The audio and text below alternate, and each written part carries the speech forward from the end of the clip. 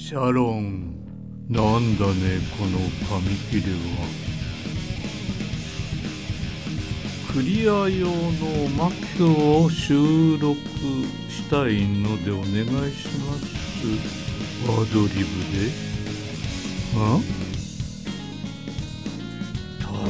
だ私まで引っ張り出すとは。よろしい。たまにはこういう余興も悪くはない。では、えー、ギルティギアシリーズファンの皆さんこんにちは、えー、スレイヤーの中の人私俳優家政でございます。えーとそれではと質問に答えていきましょうか。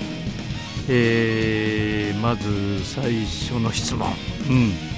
スレイヤーを演じてみていかがでしたか？いやまあ最初はねあの、えー、キャラのね、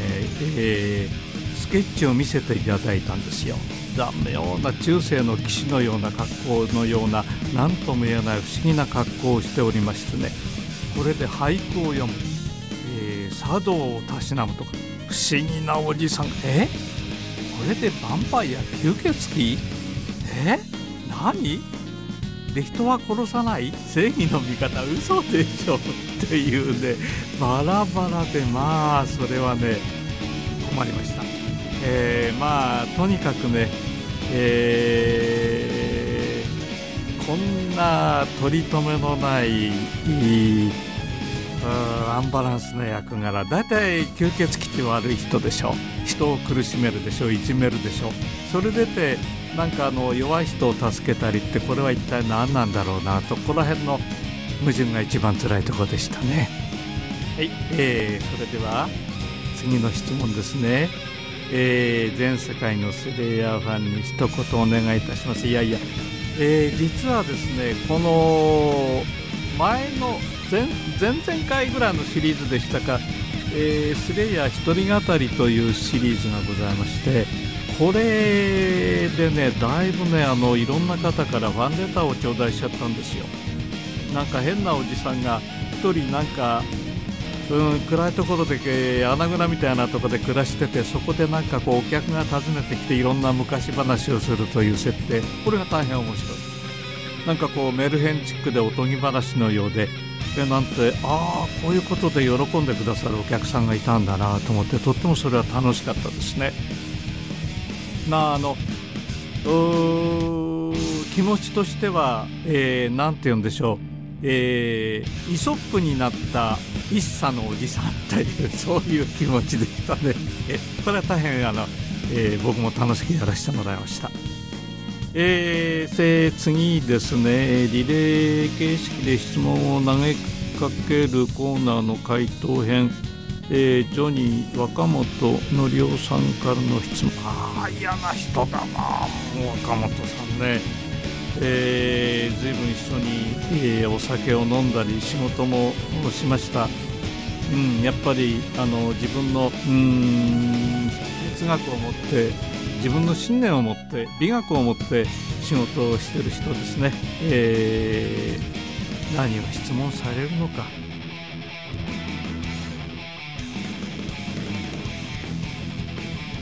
えー、私あの新人でこの世界入ってきた頃はもう深井美さんはスターだったんですけども、えー、いろんなあの外野のね主役を演じていらっしゃって、当にね最初の印象というのは、日本語というものあるいは日本語のセリフというものを書くも精密機械のまず途中ってことはない。あれよれるということもまず僕は今まで見見たり聞いたりしたことはないんですけどね、そんなわけで僕はもう年りっぱなしだからね、ぜひそういうその精密機械の秘訣をね、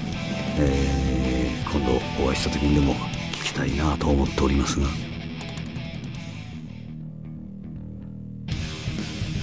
精密機械ってなちょっとなんていうか非人間的でね僕は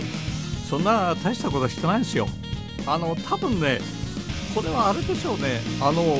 僕らがこういう仕事を始めた時は全部生放送でしょ、えー、洋画の吹き替えですら生で放送してたんだから。だからあのあんまりね閉じるとね次使ってもらえないんですよ。だからね、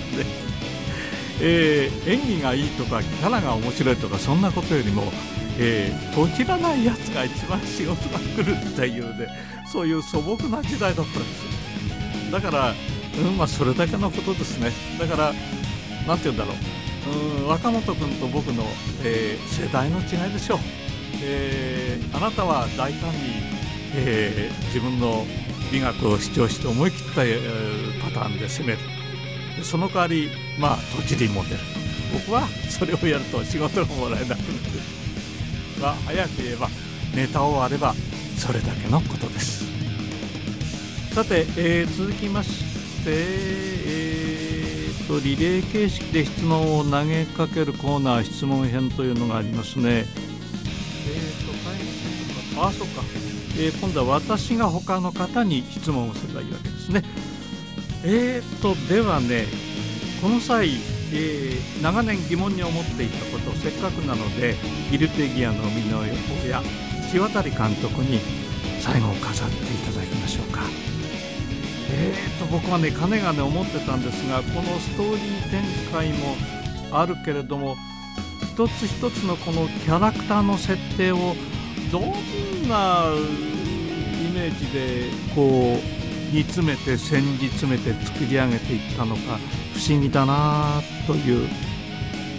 ストーリーの展開も非常にこう何て言うんでしょうウェルメイドプレイの面白さというのがあるんだけど出てくるキャラクターの奇想天外なそれでいてそれぞれなんか物悲しいものを引きずっている。そういうなんか一抹の寂しさがあったりして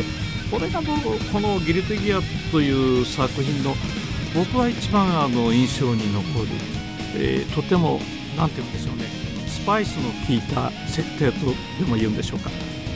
えー、そこら辺をねぜひこの際謎を解き明かしていただきたいと思います。それでは最後に。なじみ下手な俳句を一句読ませていただきます。隠遁をやめて出たいな新作に。というわけで全世界のセレイヤー使いのみんなたくさん練習してダンディーなスレイヤーを見せてくれたまえ以上スレイヤーの中の人かゆみ家政でした。それではまた次回作でお会いしましょうね。